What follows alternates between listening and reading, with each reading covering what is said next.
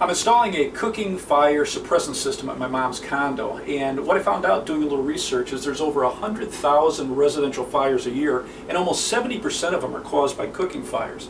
And what happens is cooking oil, once it reaches a certain temperature, actually spontaneously bursts into flames and the flames will actually reach up to the upper cabinets.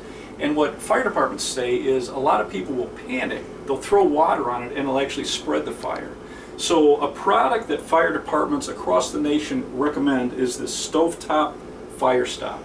And the way it works is it's not activated by heat or smoke. It actually has a fuse on the bottom of this canister and if you have a, an oil fire or a grease fire, the flames will ignite this and the suppressant is released putting out any type of cooking fire.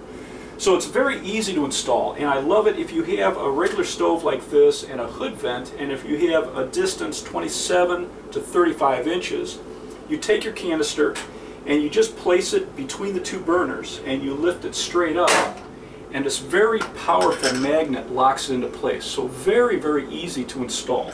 Now if you have a microwave above your stove top and you have a distance of 15 inches to 27 inches, they have uh, the Stovetop Firestop microwave system.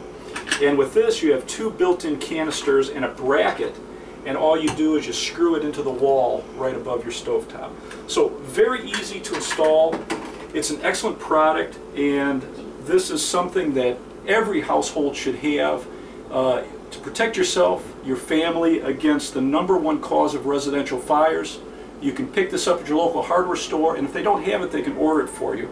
And underneath the video in the description, I'll put some details on the product.